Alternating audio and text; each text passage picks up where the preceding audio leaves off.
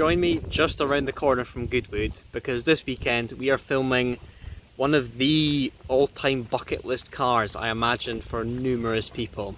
Um, one of the greatest British cars, if not the greatest British car of all time. Of course, I mean the Series 1 Jaguar E-Type. Hardtop 1963, this is my car for the weekend to do some filming. Lucy's on cam this weekend and this is down where she lives so she knows all the locations in and around Goodwood. We're currently on top of this lovely hill here and yeah it's going to be very cool to drive about in this thing. I had a corgi of one of these cars, I imagine many people watching this did. So it's pretty surreal to just have been thrown the keys to this for the weekend. It is by no means the easiest car to drive, but it probably shouldn't be when it's this pretty, and to be fair, it's nigh on 60 years old. If I look as good as this when I'm 60, I'll be very happy.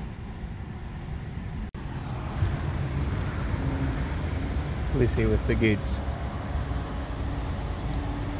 The lunge doesn't really match the car, does it? Thank you.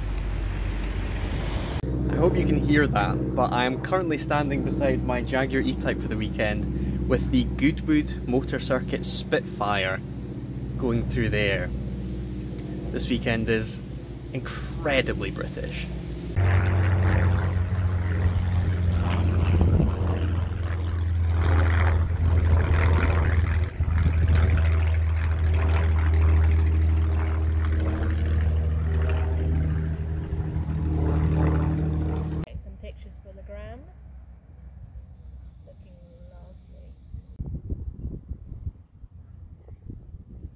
Slowly going down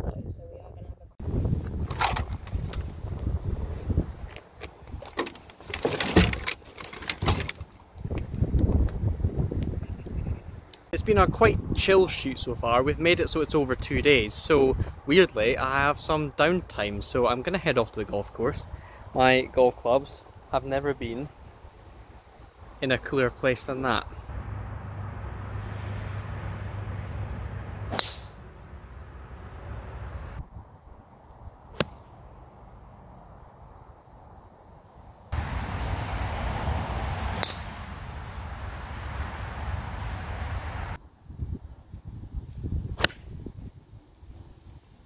We're going to be up early tomorrow filming again, so got some midnight snacks and a midnight fill up.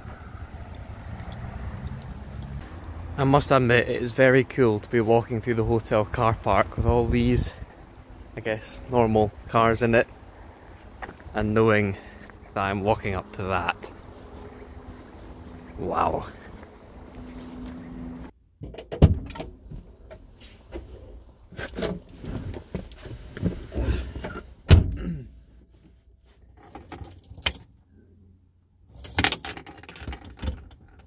Choke on full.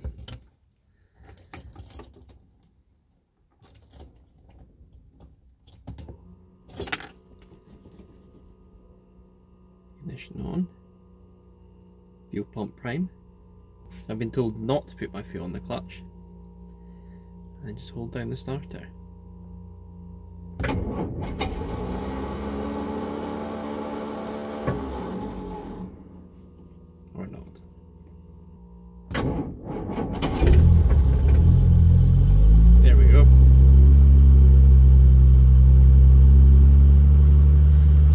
Quite left enough time for the fuel pump to send fuel to where it needs to go.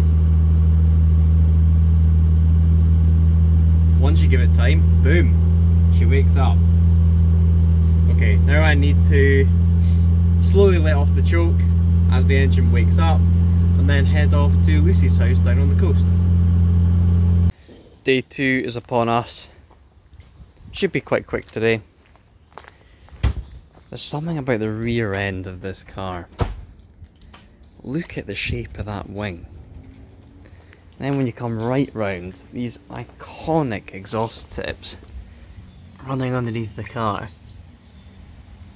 if you're going to grunt something on a speed hump, sadly it's going to be those, but wow, are they beautiful. We literally have one more shot left to do, just get some nice audio of the engine, and then I'll be heading back home to London. I don't know what the car's going to be like in central London driving about. First and second gear are not going to be fun, and it's going to get sweaty, but do I care? Probably not. He is developing into a top class videographer, but check out these lads. Wow. Please don't put this in your vlog. Are these like makeshift slippers or are these specific driveway shoes or what are these? I actually bought them for when I went paddleboarding. So I put them on with my wetsuit to go down to the water. They're easier than flip flops. So what you're saying is in the right circumstance they're actually quite cool, but right now I mean, they're never cool. I'd never wear them in public. But marks out of 10 people. one.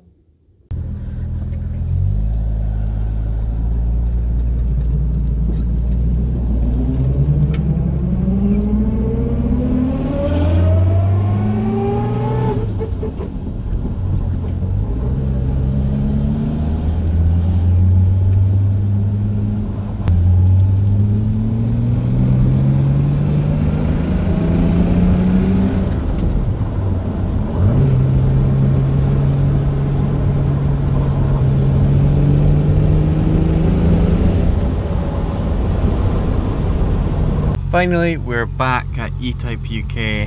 So, for one last time, switch off this amazing straight six engine. Thank you, E-Type UK.